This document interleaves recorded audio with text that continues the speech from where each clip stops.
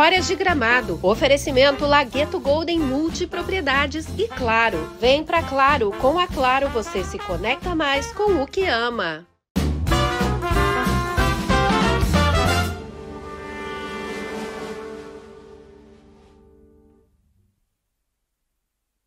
Olá, muito boa noite. Este é o podcast Histórias de Gramado, um oferecimento da Golden Lagueto.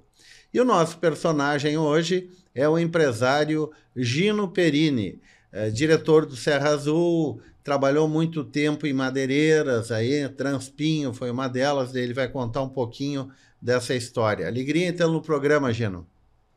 Já queria há mais tempo te entrevistar. Eu, Mirão, tudo bem, Mirão, tá? É uma satisfação muito grande, porque isso que tu faz ajuda nós no turismo em Gramado. Isso é muito importante que o pessoal conheça o que, o que é Gramado, como é que Gramado se criou, porque hoje, não vamos dizer a maioria, mas muita gente veio para Gramado e não conhece a história. Então, eu acho que esse trabalho que tu está fazendo de levar o conhecimento de todos a história de Gramado, eu acho isso importantíssimo. Porque a história de Gramado é muito bonita. Viu? História de Gramado eu vivi, eu nasci aqui, moro até hoje em Gramado, saí tempos pequenos para trabalhar em outro lugar e tal, mas nasceram meus filhos aqui em Gramado, meus netos, e eu vivo em Gramado e não tenho o que me queixar dessa cidade e desse povo maravilhoso. Vamos começar lá pelo princípio. Uh, você nasceu há quanto tempo, filho de José Francisco Perini, meu amigo, Isso. e da dona Ermida Zatti Perini. Eram duas famílias, Perini e Zatti, tradicionais, antigas aqui de Gramado. Eu nasci em 1 de julho. Posso te contar, meu? Porque Por favor. É, tem, é muito bonita essa história. Dia 1 de julho de 42. Portanto, fiz agora 82 anos. Nasci no 28, me orgulho disso, na colônia, numa casa que hoje pertence ao Benete, ao Gilney Benete. A casa está ali ainda, é na beira da rodovia que desce do, de Gramado e que vai ao Quilombo. A casinha está ali ainda. Meu pai morava ali, porque o meu avô tinha cantina. Na época, já naquela, ele produzia vinho, assim, na colônia e tal, mas já a, a família, era uma família grande, 12 filhos, e para sustentar isso ele tinha parreirais e produzia vinho mas meu pai nunca quis nada com vinho. Basta dizer que ele foi morar nessa casa, que hoje existe ainda do Benete ali, e era tropeiro de porco. Profissão dele, a primeira profissão, lá que ele casou, era tinha dois matadouros grandes em Gramado. Era o, o Beze, na Várzea Grande, e o Leupet, na Avenida não me lembro se o nome era Leupeta ainda, na Várzea era Beze. E o que, que o meu pai fazia? Ele andava pelas colônias de Gramado e Canela e comprava porco ali, comprava um porco de um, um porco do outro, e largava esses porcos na estrada, não tinha carro para transportar. Era uma coisa assim, até se chamava tropeiro de porco. O tropeiro normalmente é de, é de, de, de gado, de coisa assim. Mas naquela época era. Bom, isso foi no início, meu avô com a cantina ali, e eu nasci ali. Dia 1 de julho de 1942, minha mãe, grávida, deu sinal de, de parto.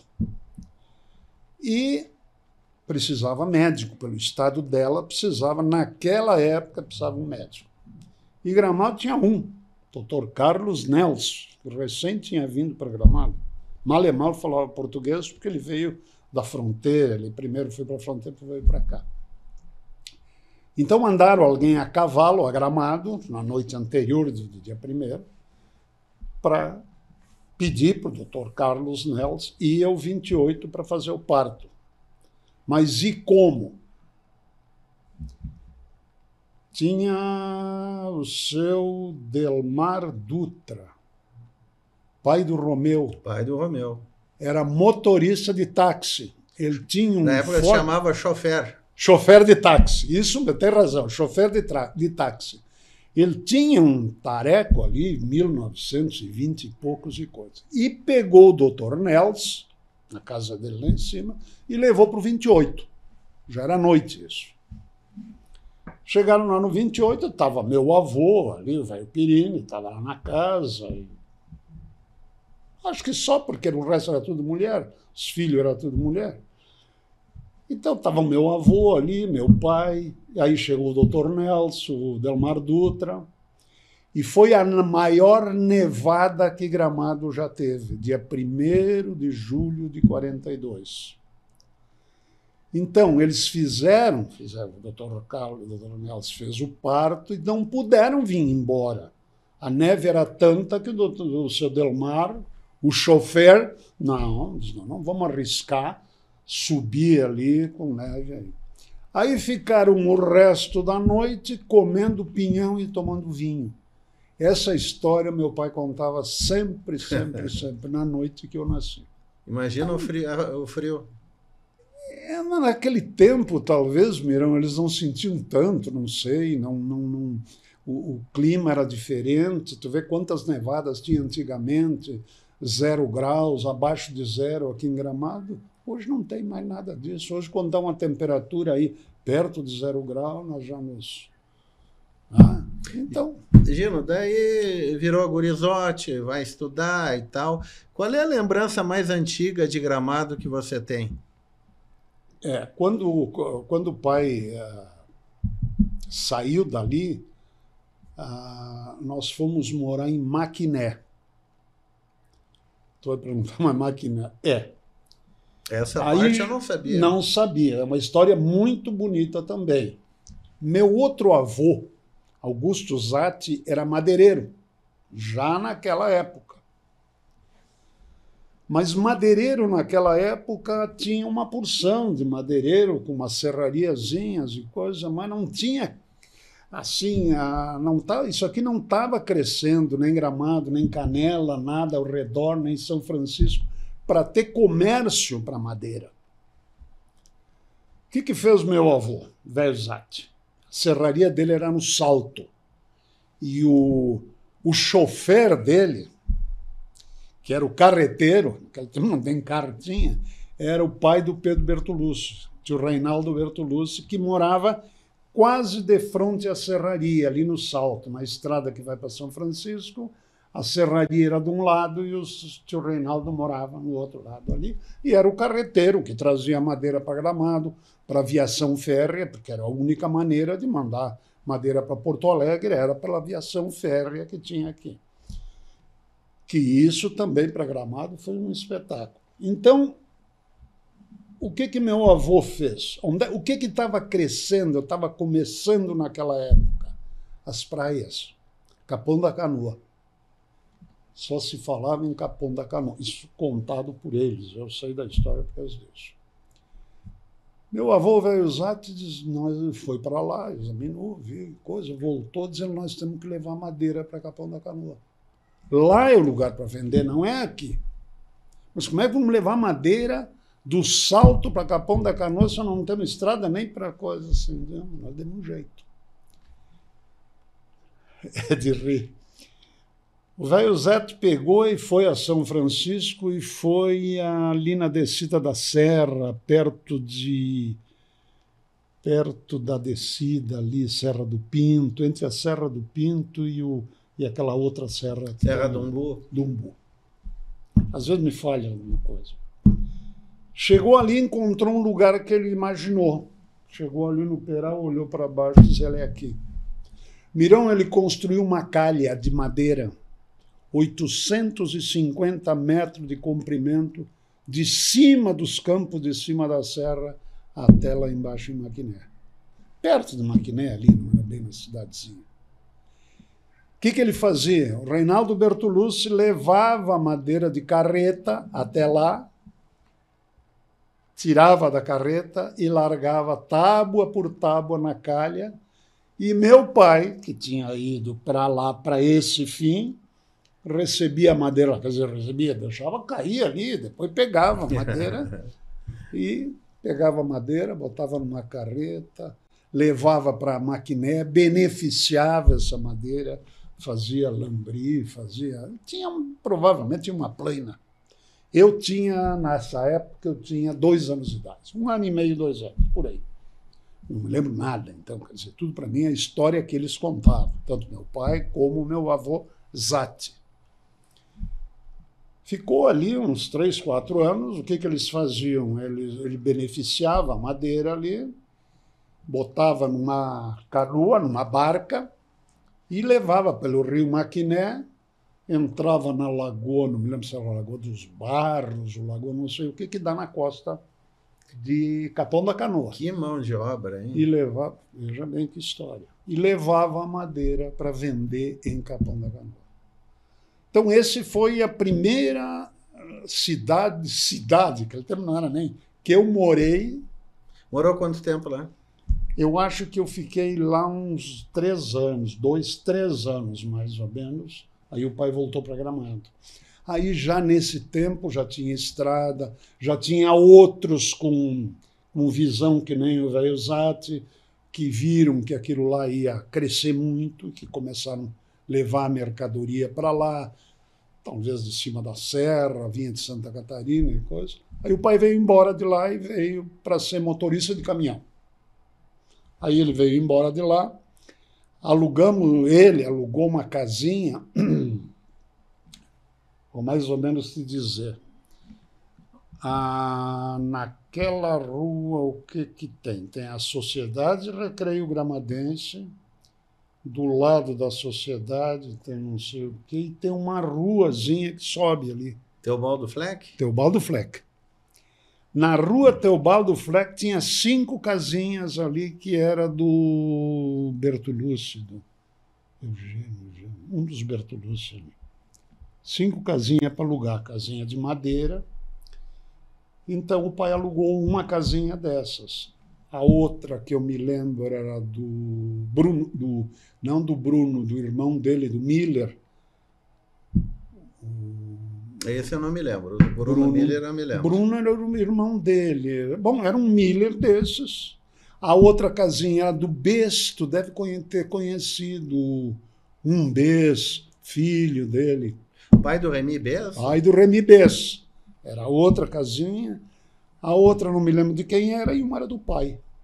Então, muitos anos ficamos morando ali, naquelas casinhas, e o pai era motorista de caminhão que puxava madeira, que naquela Também época, não sabia que ele eh, tinha sido motorista de caminhão. É. O que eu me lembro é do teu avô vindo do 28 a cavalo. Isso. Isso eu era Isso. pequenininho, eu, eu via. As primeiras uh, lembranças que eu tenho é exatamente isso. Quando eu morava ali, depois dali o pai comprou a casa, tinha um comerciante aqui na Borges de Medeiro, Farion, tinha um grande comércio, bem um galpão grande que era ali onde tem a casa do Major Nicolete. Antes de chegar quem vai daqui para ter uma escadaria de pedra, certo? Naquela do quase encostado naquela escadaria de pedra tinha um, um prédio grande de madeira, só, tudo era de madeira naquela época ali. Era o armazém do Farião baita no armazém. E ele morava onde eu moro hoje, ali onde eu construí aquele prédio. O pai, o pai primeiro alugou do Farião aquele, aquele prédio ali para. E depois comprou a casa. Onde, então ele veio morar naquela casinha que ele morava no Teobaldo Fleck, ele foi morar na casa do Farião, lá, uma casa de madeira grande. Depois ele desmanchou, construiu a casa, que eu desmanchei, construí coisa e tal. Mas então, o, o, o, ele ficou muitos anos trabalhando de motorista de caminhão, até que resolveu. Transportando madeira? Transportando né? madeira. buscando madeira lá por São Francisco, Cambará, por essa região, trazendo para cá. Porque o, centro da madeira, a, Mirão, era gramado por causa da aviação férrea. Toda aquela parte hoje de frente à estação rodoviária ali, tudo aquilo ali, aquilo ali era um pátio, aquilo eu me lembro, era um pátio muito grande onde era depositada a madeira. Era classificada e separada. Então o trem levava para Porto Alegre, para certos lugares, empresas que já exportavam naquela época, industrial madeireira, por exemplo, da Voluntários da Pátria, recebia a madeira já classificada, madeira boa, porque para a Argentina. E a estação ia. ferroviária de Porto Alegre era ali do lado, né? Ali, Exatamente. entre a voluntários e o... Isso aí. Então, a, a, aquilo ali é uma, é uma parte da história de Gramado, o trem, por causa da madeira. Não tinha outro sentido. Tem muita gente, ah, o trem era para trazer o turista para. Não, não. Aproveitava, vinha vazio e trazia o turista aqui para. Não, naquele tempo não era, era o veranista. Veranista. O veranista que vinha aqui para Gramado se curar da, dos pulmões. Tuberculose, principalmente. Porque diz que aqui o ar da serra curava. E o cheiro da fumaça do trem. Então, o trem, para não vir vazio, então trazia o turista para cá, para a rodoviária, e descia carregado de madeira sempre. Né? Então, isso foi o início, Mirão. Depois, meu pai, então, resolveu a ser madeireiro. Ele era empreendedor, né? Era um empreendedor nato. É, mas não tinha, né? Era mais. Não tinha capital, não tinha capital. nada. tu veja bem, foi para lá para Gapão da Canoa, para Gapão não, para Maquiné, depois caminhão, motores de caminhão. Depois, então, aí eu já comecei a me lembrar, porque eu já tinha 4, 5 anos de idade, e é uma época que a gente se lembra. Foi de com família, minha mãe, eu, ele e o tio Chico Zatti, que eles fizeram uma sociedade, que o Chico é o pai do Ju, da Maria Luísa, foram sócios, eles tinham a Zatti Perini Limitada. E construíram, isso é adiante da Jaquirana, uns 20, 30 quilômetros adiante da Jaquirana, passava o Rio Camisa, subia do outro lado. Ali eles compraram um pinhal dos Pinto ali e montaram uma serrariazinha. Bom, ali eu acho que o pai ficou 30 anos serrando ali. Mas era uma coisa pequena, mas ele, ele nesse tempo conseguiu se associar à Industrial Madeireira de Caxias, que tinha depósito aqui em Gramado, então a madeira já vinha para o depósito, não tinha mais nada de trem.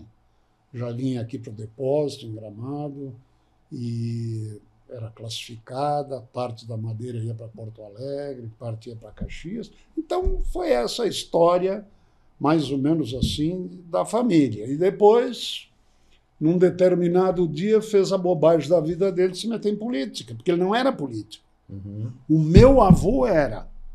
O velho Pirini era político. Mas meu pai nunca, que eu me lembro, assim, mesmo de guria, não estava mais aqui, estava no no colégio em Caxias, com 13 anos, me botaram interno no Carmo, em Caxias, mas eu não tinha, não acompanhei. Mas eu, eu sabia que o pai nunca teve queda por política, entende? Ele era amigo. Quem é que convenceu ele? Vou mais ou menos te dar o, o coisa. Tu lembra do nome Fernando Ferrari? Opa! MTR. MTR. Egresso do PTB. Isso. o que, que acontece? O Ferrari era gaúcha, ela aqui também, e gostava de gramado naquela época. Eu não me lembro agora para te dizer onde é que ele vinha. Se era no Parque Hotel, se era, porque não tinha outra coisa. Ou era um desses Hotel Bertolucci, Hotel Candiago, Hotel Fisch. Bom, ele vinha. E o pai conheceu ele aqui extra política, não me lembro, acho que lá embaixo na cantina do meu avô. Ele deve ter ido lá tomar um vinho, conhecer, porque era a cantina do Velho Pirini, do Buraco do 28 ali, era um ponto turístico de Gramado. Oh. O cara que vinha para cá ia lá, tomar um vinho, conversar, ouvir o velho mentir, conversar e coisa. e o pai deve ter conhecido o Ferrari ali e fez amizade com o Ferrari. Era um cara muito bem. Bom, o que, que acontece? Na primeira eleição seguinte, coisa, o Ferrari se lançou a candidato a vice-presidente da República. Naquela época não era vinculado ao presidente, podia ter dez vice. E havia dentro do PTB, na época, uma divergência que eu não sei porquê, também nunca me que o Jango foi candidato a vice e o Ferrari foi candidato a vice também. Como o pai tinha amizade com, a, com o Ferrari, fizeram, por tudo pertencia ao PTB. Meu pai, meu avô, era tudo PTB. Fizeram uma dissidência dentro do PTB para apoiar o Ferrari. Ganhou, perdeu a eleição, não ganhou, o vice foi escolhido, foi o, foi o Jango e coisa. Mas permaneceu aquele, aquele vínculozinho, né? aquela, aquela uh, coisinha, aquela formiguinha mexendo. Aí houve essa dissidência e tal, que em Gramado uma porção de, de, de, de pessoas que eram do PTB saíram, fundaram o MTR aqui em Gramado fundaram o MTR e tal, e coisa tal. Porque, na realidade, existia aqui em Gramado PTB, que era essa, todo esse grupo que eu te falei, mais o Walter, mais era o PTB, era muito grande. Tinha o PSD, que era o da Lemole, tio Oreste da Lemole, tio, tio porque ela, era irmã, ela era irmã do meu avô, a Linda, chama de tio Linda, era irmã do Zate, do meu avô. Não sabia também. É. Ele era PSD, até foi candidato a prefeito, mas perdeu a eleição. Bom, tinha o PL, que devia, era o quem era do PL, nós ria porque o PL só tinha um gramado, mas era, ele era. Pô, daqui a pouco me vem o nome. O PRP, que era o Pante, também era, eu acho que era o Pante e só ele. Os partidos naquela... Seguidor do Ademar de Barros. Exatamente. O PRP do Ademar de Barros era o Pante. Chegou a conhecer o Pante, né? Conheci. Ludovino Pante. É. Tá. Era do PRP. Então, esses partidos aí, tudo, quando houve essa dissidência do MTR, que ficou meu avô, meu pai, mais meia dúzia aí, esses partidinhos tudo apoiaram o pai. Por isso que ele ganhou a eleição com uma diferença estrondosa, 62 votos. e o senhor Almeres, 20. Ah, o senhor Almeres era de que partido? Também era um desses. Era ele sozinho. Não, era do, do PL, eu acho. Era ele. Tinha ODN também na época, não sei se é desse então, tempo. Então o Almeres era da UDN. É, não me lembro. Acho que era. É uma coisa. Bom, tudo se juntaram, tudo e apoiaram o pai ganhou a eleição. Ganhou a eleição do candidato nato que era o tio Remy. Zat. Tu te imagina, Mirão, o enguiço de família que eu tive na minha vida. E não foi só, só essa aí, porque depois teve outro enguiço aí, porque o, uh, o Perini, o José Francisco Perini, foi o terceiro prefeito de Gramado. Arno Michaelsen foi o Mas segundo. o enguiço foi ali. Então. Tu sabe por quê? Quando o pai não, mas o enguiço que eu digo, brincando, é claro. Mas é. É que você casou com a filha do Arno Do prefeito, do tá? PTB. E contra o meu tio, que era do PTB, o Remy, que era o candidato a prefeito. E pior de tudo é que o escritório do meu pai, da madeireira, era o Remy que cuidava, era ali onde mora ali na casa do, do, do Chico Zatti, embaixo, no porão ali. Tem um restaurante, eu acho, ali embaixo, né? Daí na curva aqui da Borges, na subida da Borges, sei, na curva. Sei. Ali era o escritório ali embaixo.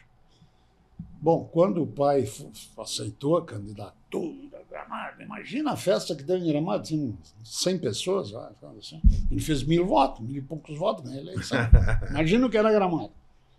É, isso é difícil de imaginar, é, porque uma eleição que o candidato faz mil e poucos votos, concorrendo com um parente e um cara que trabalha contigo nós, ali. Nós chegamos de manhã, dia seguinte à festa da, da aceitação do pai como candidato, fizeram uma bagunça. E, sabe, sempre tem a cupinchada. Chegamos no escritório de manhã, estava tudo na rua, tudo na calçada. Birô, contabilidade, sinoteca, tudo. O tio Remy botou tudo para a rua.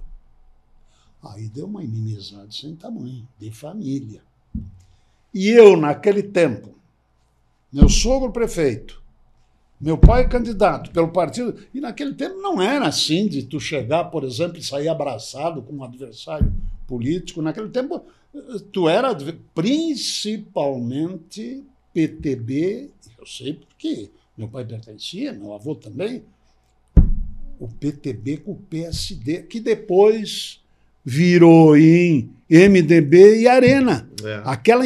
Aquela, aquele ranço continuou depois. Eu me lembro que tinha no Café Cacique uma mesa que era do lado do Isso. pessoal ah, ninguém sentava junto. Arena. Ninguém, ninguém sentava, sentava junto. junto, não. Era cada um na sua mesa. Então, a, a, a, quando o pai ah, foi candidato ali, tá? quando ele ganhou a eleição, meu sogro era prefeito, quem perdeu a eleição foi o tio Remy, que era irmão da minha mãe, era uma coisa assim, e eu namorando a Dora. Então, foi uma coisa assim. Até tem uma brincadeira que a gente fazia depois mas que tem muita verdade nisso. Naquela época, Mirão, a religião era muito importante. Se tu era católico, tu era católico, tu não tinha nada que falar com pessoa de outra religião. Eu, católico, fervoroso, praticante, menos a família, eu não, coisa. E adoro evangélica, luterana. Então, toda a família Naquela época em Gramado, era, era todo mundo esperando como é que, que vão acontecer. Vão casar misto, ela vai para ele, ele vai para aquele. Isso foi a primeira coisa. Aí vem a gozação. Ele italiano e ela alemã. Foi? Então, ela, origem alemã, eu, origem italiana, ela é evangélica, eu católico, ah, para encerrar o negócio, para dizer, bom, agora vai, não, esse casamento não vai durar. Toda a família dela era gremista e toda a minha família é colorada. Nada no casamento meu e da Dora poderia dar certo. Então aí há quanto tempo? Há 50 aí? 1965 nós casamos. Isso aí deve ter sido 64, ainda deu a revolução naquela época, e o pai estava na prefeitura, o ranço foi maior ainda. Então, olha, foi um caos.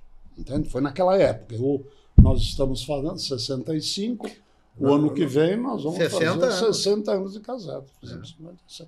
Quer dizer, com tudo isso, com igreja, com, com língua, com futebol, deu certo até agora. Ah, maravilha, maravilha. Ah, Deixa eu fazer uma pergunta. Vamos lá, Gino. O ciclo da madeira foi fundamental para Gramado e Canela também. E eu queria que tu, tu falasse um pouco sobre isso, porque foi o ciclo da madeira, o dinheiro que o pessoal conseguiu com a madeira que virou hotel. Exatamente. Foi exatamente. E não só o Perini, teve não, o Mário não, não, não, muito, muito, também. muito, muito. Essas empresas madeireiras, a madeira naquela época, a araucária, ela estava recém começando a exploração. A exploração da araucária começou aqui de Gramado. Primeiro município com serraria foi Gramado. Nova Petrópolis não tinha, Caxias não tinha, Três Coroas não tinha. Primeiro foi Gramado aqui pelo interior, ali por perto, as primeiras serrarias. Partiu para Canela, porque Canela tinha muita araucária naquela região do Caracol, ainda tem, restou alguma coisa ali, Então ali se estabeleceram diversas serrarias. E o produto dessa madeira, o, o resultado disso, graças a Deus, foi aplicado aqui em Gramado. Canela levou muito tempo, por quê? Vou te contar.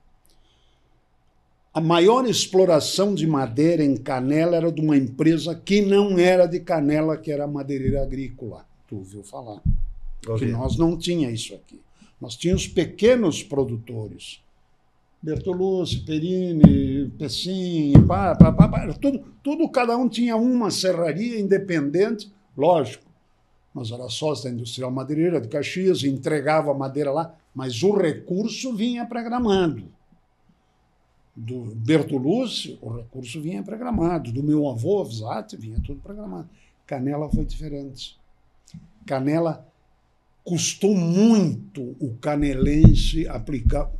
Eu acho, te digo sinceramente, eu acho que o canelense começou a se dar conta de que Canela é um lugar para aplicar o dinheiro há 10 anos para cá. Até ali, não. Até ali, nós aqui, os, o pessoal daqui de Gramado não, não levava dinheiro embora. Era aqui, era, era um hotel, era uma casa, era isso, era aquilo. Pode ver aqui. E, e como surgiu o Hotel Serra Azul aí? Foi em Hotel 72, Serra final de dezembro? É, Hotel A Serra ideia, Azul. quem é que deu a ideia de construir um hotel? Vou mais ou menos te dar. a- a- O pai, quando estava na prefeitura, pensou muito em turismo, como o meu sogro também, criando a Festa das Hortênsias, como o, Hortz, que veio depois, o Festival de Cinema. Quer dizer, cada prefeito desses teve alguma coisa a ver com o turismo. Não vamos dizer que o mérito foi de. Não, não foi. Mas não foi. O pai contribuiu, contribuiu. Bah, o pai fez a estrada de Taquara Gramado se não tivesse. Isso é uma coisa.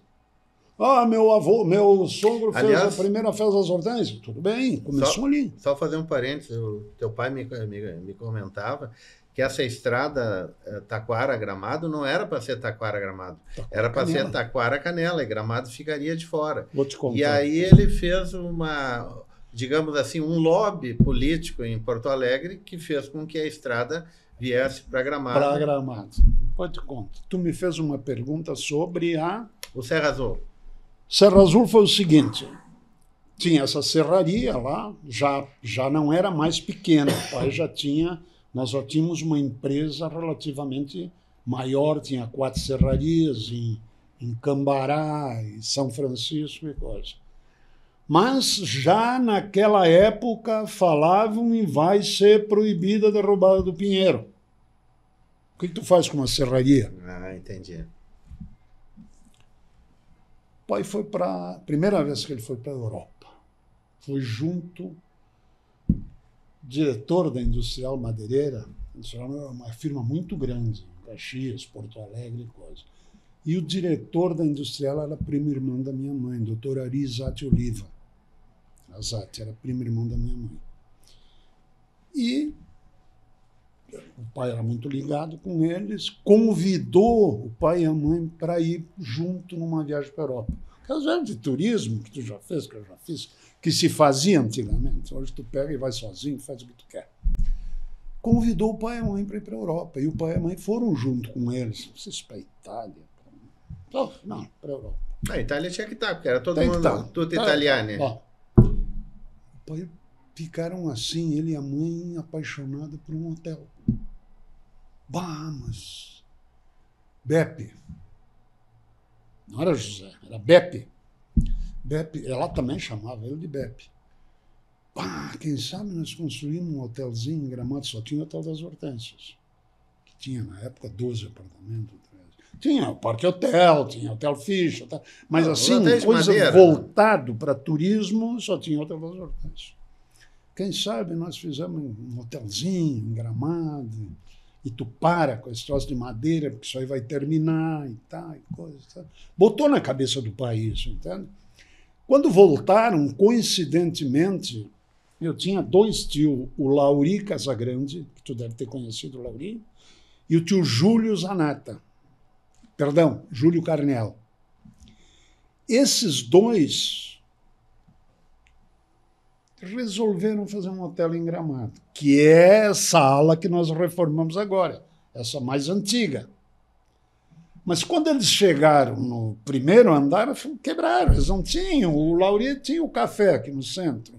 E o tio Júlio nem sei o que, que tinha.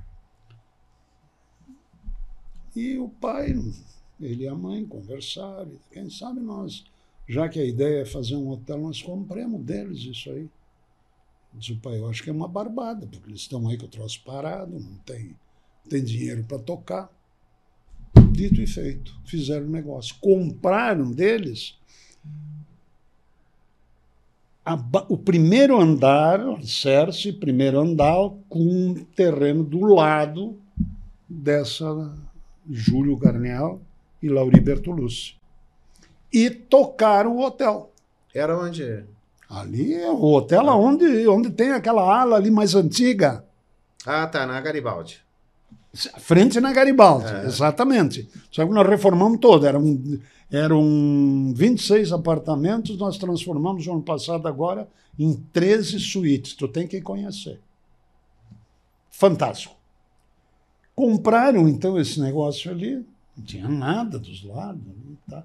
e fizeram o hotel. Assim nasceu Serra Azul. Dezembro de 72 foi inaugurado aquilo ali. Tinha um jardim do lado, aqui era a garagem da prefeitura. Lembro, lembro. Lembra a garagem da prefeitura? Eu morava naquela quadra ali. Né? Então, tu lembra do negócio? Aqui era a garagem da prefeitura, tinha um terreninho lá, que depois nós trocamos a garagem da prefeitura aqui. O pai fez um câmbio, esse terreno aqui, por uma área. Onde ele comprou para a garagem da prefeitura? Bom, não sei. Sei que fez o câmbio. Depois aqui tinha um, a Corsã, era aqui também. Também comprou da Corsã. E tinha uma, Antigamente teve até um presídio ali, lembra? É nessa área. Quem me contou é? foi uma pessoa mais antiga que teve aqui. Tinha um, era uma cadeia, era uma cadeia para prender aqueles meliantes de ocasião. Né? Era fácil, porque era ali no centro de Gramado. É. Né? É. Então, Mirão, o Serra Azul nasceu assim, quer dizer, da compra desse, dessa obra que estava parada por falta de recurso, que eles tinham intenção de fazer um hotel, mas fazia um ano já que estavam estavam parados, aí o pai comprou. Nesse meio tempo, o negócio da, da, da madeira foi diminuindo, lá para fora, a araucária foi, diminuindo, foi proibida, então o pai foi terminando com as serrarias, fez, montou aqui no Saiki, nós montamos aqui, eu já estava Vocês junto. ainda têm participação na, ali na, naquela madeireira do Saiki? Ou... Toda a área, todo o imobilizado é nosso, tá? Arrendado para uma firma de Gravataí.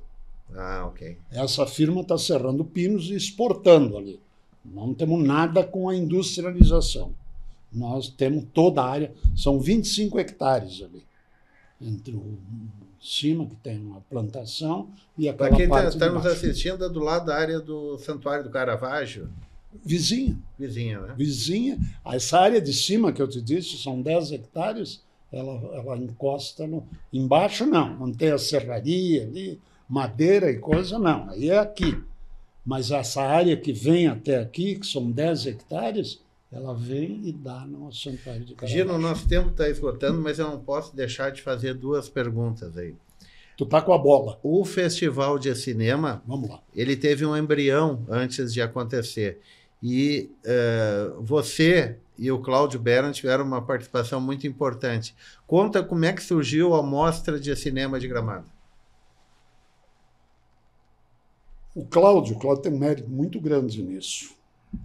Eu era meio grosso, não tinha muito, mas o Cláudio tinha. O Cláudio era um cara que viajava para Ponta del Este, e de Ponta del Este tinha um festival de cinema, né? mais antigo, tá, tá. E um dia, eu era amicíssimo do Cláudio, mas vivia junto e coisas. E o Cláudio tinha um relacionamento muito grande com, com veranistas que moravam aqui em Gramado e tal. E um dia, o Cláudio, tudo veio em função do cinema. Gramado não tinha cinema. Aí nós construímos o cinema. Eu digo nós porque foi um livro ouro. Diferente do que eu digo, ah, as ações. Não, naquele tempo não tinha ações. Eu, o Johnny Moraes e o seu Almeres, com o livro Ouro embaixo do braço, Passando. casa em casa. Assina aqui, Mirão. Eu dou 5 mil, tá? Outro daí, isso. O cinema foi construído assim, porque nós íamos para Canela. Depois que o Mauri fechou o cineminha ali, nós tínhamos que ir para Canela, sabe? De noite, tá? Namorado tinha que ser em Canela. E o pai estava na prefeitura. O pai, não, não é possível. Nós temos que fazer um cinema. fazer. E aí, não vou te contar toda a história. Pegou o seu Almeres, que era o vice-prefeito, diz: olha, vamos construir o cinema. Mas com o quê? Prefeitura não tem dinheiro. Não, vamos arrecadar. E, tá, e passemos o tal de livro ouro. Lógico, a prefeitura deu a contribuição também de mão de obra e coisa. E foi um sucesso financeiro. E construímos o cinema. Quando construímos o cinema, tinha Cláudio Bering, tinha ali onde tem aquele restaurante ali de, que é do, do Julinho Cavitione, ó. Ele morava Ah, ali. o, o El Fuego ali, na área do El Fuego. Aquela casa do El Fuego ali, Era um veranista ali, ó. tu não te lembra o nome dele? Não me- Eu não me eu. Mirão, Mirão, eu te peço perdão, mas ah, ah, uma Não, das mas capaz, coisas, uma das coisas que me falha é, é os nomes. É. Não, mas ali, Mas eu- ali eu também não me lembro. Bom, eu, eu eu lembro tenho- que era um veranista. Eu tenho fotografias ali, tudo. O que, que acontece? O Cláudio Louco um dia investou, vamos fazer uma amostra de cinema. Que, que é isso? Não sabia nada que é mostra de cinema. Não, nós vamos fazer aí, passemos uns filmes aí, coisa. Deu certo. Fizemos a tal de primeira mostra de cinema de Gramado, inaugurando o cinema. Tu te imagina o que é o cinema hoje? Não é nada para Gramado. Mas tu bota 1960. Ah, mas era um prédio muito chique para a época. Pois é que eu estou dizendo. Era muito chique, porque, Era em uma- primeiro lugar, era alvenaria e tinha uma arquitetura diferente, moderna. Ah, ah, não o Celso Bertolucci, o, o irmão dele. Bertolucci foi o arquiteto. Peraí, era o Nelson e o Celso. Aham. O Celso Bertolucci foi o arquiteto. Europa e coisas e fez. Em função do cinema, surgiu a mostra de cinema.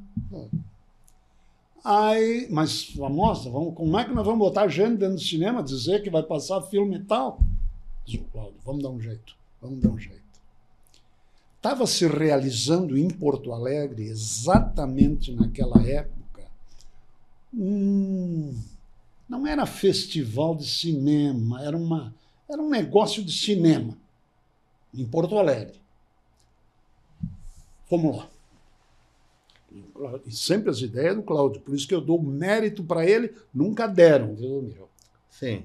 Nunca deram. Então, um dia eu botei a boca numa bronca, digo, em vez de estar homenageando e dando um prêmio, deram já para o Cláudio Belli, que é o primeiro que fez. Cláudio, vamos a Porto Alegre. E o Cláudio não tinha condições. O Cláudio era num laboratóriozinho, não tinha nada. Fomos a Porto Alegre. Era lá no Menino Deus, essa tal de, de reunião de, de Porto Alegre, lá que eu não me lembro como é que era o nome da, da, da, da organ, do, do Congresso de Cinema, não sei o quê. E eles lá, o Cláudio entrou em contato com um, o cara era deputado, também não me lembro o nome, que era o presidente, e ele disse: não, nós vamos trazer dois casais de artista. Eu acho que foi o Glênio Pérez, não foi? Um era o Glênio, mas tinha mais um também, tinha um outro. Glênio Pérez que foi vice-prefeito de foi, depois exa- de exatamente. Porto Alegre. Foi, acho que era o Glênio Pérez. Vamos trazer dois casais de, de artista. Pô, aquele tempo era o início, tu trazer um, um, um artista para Porto Alegre, e o Cláudio disse, não, mas se eles vêm para Porto Alegre, eles vêm para Gramado também. Trouxemos para Gramado tal de dois casais de artista. Eu precisava agora te dar o nome deles direitinho. Bom, daqui a pouco certo bem. Aí, Mirão, trouxemos esses dois casais para Gramado e fizemos uma sessão solene de, Inauguração da mostra de cinema. Um troço. Hoje tu não bota nenhuma. Mas, Não, mas isso, isso, é, mas na época. isso é característico de gramado. época- Se sabe vender bem, né? Se faz alguma coisa, às vezes, modesta, mas se vende muito E bem. Mirão, e depois tu veja bem, ninguém entendia nada. Eu era burro, colono. O, o Cláudio era um pouquinho mais porque era de Novo Hamburgo. O Johnny Moraes, o Odilão Cardoso. Era essa turma que, que, que- que tocou o troço. Ninguém entendia nada, ninguém sabia nada, zero. Mas fizemos e deu certo. Aconteceu. Deu certo. É. Fizemos uma amostra, E depois fizeram a segunda amostra, depois a terceira. E aí, com o Hortz já prefeito, passou da mostra de cinema para Festival de Festival Cinema. de Cinema. A terceira mostra já teve uma porção de artistas, já tinha filme concorrendo. Quer dizer, o, o- o- festival nasceu da mostra de cinema, não foi do primeiro festival. Imagino, tu, tem, tu teve outra participação, além de eh, deste embrião do Festival de Cinema, eh, tu tivesse uma participação importante, porque através da última festa das Hortênsias foi criado o Natal Luz, uma comissão organizadora ali. E também foi muito difícil na época vender, porque eu fazia parte dessa comissão e eu me lembro de vender oitões aí pela, pela Borges de! Medeiros. Tu lembra disso? Lembro, e eu, eu nunca me esqueci. O, o único não que eu recebi na época de um comerciante, é, ele me botou para a rua da casa, ele dizendo assim: Olha, meu amigo, e eu era jovem ali, 20 e poucos anos. Ele disse assim: Eu já pago meus impostos e chega. O senhor se arranque da, da minha, do meu estabelecimento que eu não vou dar nada para. Que barbaridade. Isso é, eu, não, eu não me lembro de ter recebido assim contra naquela época, mas passamos trabalho, viu? Por quê, Mirão? Em primeiro lugar, não tinha dinheiro. Foi arrumado aqui do, do, do Banco Meridional, porque o presidente do Banco Meridional era amigo do Noré, lá de Santo Ângelo. Então nós conseguimos pegar um dinheirinho do. Era meridional, né? É, Era meridi- meridional, é. Depois virou Santander. Isso. Conseguimos pegar um dinheirinho e tal, não dava, não dava o dinheirinho que nós tínhamos. Nós já pensávamos em fazer o, o desfile com os, os, os- os, ah, pessoas fantasiadas. Você lembra que. que bom, mas tudo custava caro. Resultado, a gente saiu com umas velas na mão, que era Isso aí, barato. isso é mais. Não sei de quem surgiu a ideia, tu participou, de vender ripas com luz para os comerciantes. Porque naquela época, era outra coisa. Todos os comerciantes da Borges e Medeiros eram de gramado. Hoje, não sei se tem algum. Ah, muito pouco.